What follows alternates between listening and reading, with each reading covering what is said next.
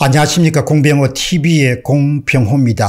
여건의 대선 경선 최종 후보 선발 이후에 상황이 상당히 좀 복잡하게 진행되고 있습니다. 10월 12일 날 청와대발 기사입니다. 박경미 대변인에 의하면 대통령이 대장동 사건에 대해서 검찰과 경찰은 적극 협력해서 신속하고 철저한 수사를 실질적 진실을 조속히 규명하는 데 총력을 기울여달라 이렇게 당부했다고 합니다. 언론은 이에 대해서 두 가지 해석을 다합니다. 대장동 사건에는 경우는 더불어민주당 대선 후보로 뽑힌 이재명 경기지사 이름이 오르내리는 상황이라서 미묘한 파장이 예상된다. 다음은 그동안 청와대는 대장동 개발 사업 의혹과 관련해서 언급할 사안이 아니라고 했다가 지난 10월 5일 날 처음으로 엄중하게 생각하고 지켜보고 있다 이렇게 논평한 바가 있습니다. 정치적 중립을 지키라고 했던 문재인 대통령의 의중이 담긴 언급이라서 일각에서는 분위기가 심상찮게 돌아간다 이런 말이 흘러나오고 있습니다. 다음은 10월 12일 날 청와대 핵심 관계자의 발언입니다. 문재인 대통령과 이재명 후보가 만나거나 통화할 계획이 있느냐는 그런 질문에 대해서 청와대 핵심 관계자는 최근 면담 요청이 있었고 그 면담에 대해서 앞으로 어떻게 처리할지 협의할 것이다 이렇게 답했습니다. 청와대는 추가적으로 문재인 대통령과 이재명 후보 간의 면담을 협의할 계획을 갖고 있다 이런 내용이 12일 날 알려진 바가 있습니다. 다음은 10월 12일 날날 홍준표 후보 대통령과 이재명 면담 신청에 대한 비판입니다. 홍준표 후보는 자신의 SNS에 다음과 같은 내용을 올렸습니다. 현직 대통령은 과거와 달리 정당의 총재가 아닌 평당원입니다. 대통령은 공정한 대선 관리를 하는 자리입니다. 특정당 후보에 비밀 회동하는 것은 대통령이 대통령 선거에 대선에 개입한다는 의혹을 받을 수 있습니다. 또한 진행 중인 대장동 개발 비리를 공모하며 은폐한다는 의혹도 받을 수 있습니다. 있습니다. 문 대통령과 청와대는 시대가 변했다는 것을 자각하시고 자신의 신중을 신중을 처신의 신중을 기하도록 부탁드립니다. 부디 잘못된 만남이 되지 않기를 거듭 부탁드립니다. 홍준표 후보의 주장입니다. 다음은 10월 12일 날 김기현 국민의힘의 원내대표의 대통령 지적 사항에 대한 문제점 지적입니다. 국민의힘의 김기현 원내대표는 10월 10일 날 문재인 대통령이 대장동 개발 비리 사건에 대한 검찰과 경찰이 협력해서 진실을 규명하라고 지시한 것과 관련해서 좀 더 아주 부정적인 그런 논평을 내놨습니다. 문재인 대통령의 오늘 발언은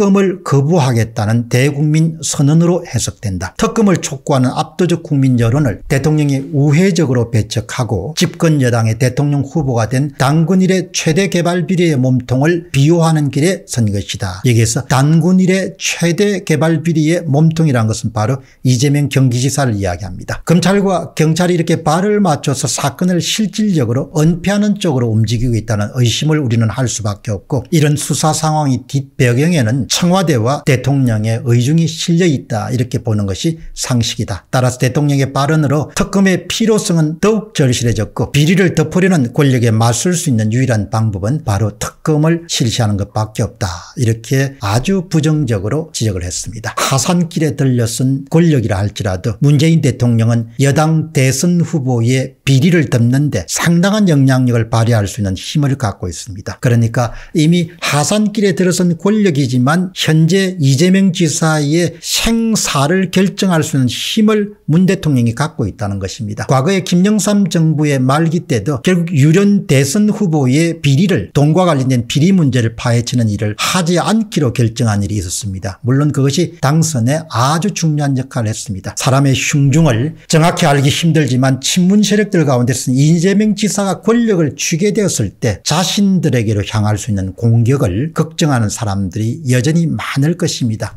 늘 궁금한 것은 그런 걱정에도 불구하고 왜 대법원 판결에서 살아있는 권력이 개입하지 않았을까라는 의문점입니다. 개입했으면 분명히 원론적으로 이재명 지사의 성, 공직선거법 위반을 해서 이렇게 대선 후보가 될 수 없는 될 수 없도록 만들 수 있는 힘을 갖고 있었습니다. 설령 문재인 대통령이 이재명 지사의 비리를 덮는데 협조한다고 해서 이재명 지사가 당선되고 나면 그런 권력을 쥐고 나면 크게 고마워하지는 않을 것입니다. 이재명 지사와 같은 그런 부류의 인간들은 뭔가를 성취하게 되면 자기가 잘나서 성취했다고 했지 누구의 도움을 받아서 성취했다 이렇게 생각하는 부류가 아니라고 봅니다. 그러나 문재인 대통령이 정도대로 비리를 파헤치는 것을 그냥 방임한다면 내버려둔다면 이것은 바로 문 대통령과 이재명 지사가 완전히 갈라서는 것을 뜻합니다. 민경욱 전 의원은 10월 12일 날 의미심장한 메시지를 던졌습니다. 그 내용은 다음과 같습니다. 문재인은 대장동 개발 비리 사건에 대한 검찰의 철저한 수사를 지시했습니다. 분위기가 바뀜에 따라서 이재명의 대타로 유시민과 김부겸이 급부상하고 있다는 전언입니다. 다시 10월 10일 날 최보식 기자는 좀 더 문제성 있는 기사를 내 놨습니다. 상당히 파격적입니다. 이재명 지사가 오늘 여당 대선 후보로 확정됐지만 3일 천하로 끝날 공산이 높습니다. 이재명의 구속은